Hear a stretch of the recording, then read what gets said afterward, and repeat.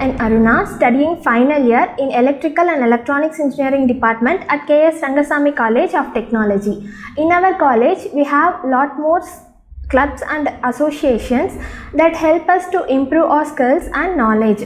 We have uh, many clubs and a department association like Readers Club and Cultural Club to improve the students' co-curricular and extracurricular activities. Readers Club conduct a lot more activities like book talk, essay writing and speech competition to induce the habit of reading among the students. Also, we have a well facilitated ground, gym and indoor sports stadium to support the students in physical activities. Department associations conduct a lot more value added courses that helps the students uh, to get job in uh, core areas. With all these facilities together, I enhanced my skill and I got placed in my area of interest. Now I am placed in Juicy Systems Chennai with the aid of these facilities uh, provided by my college. Thank you.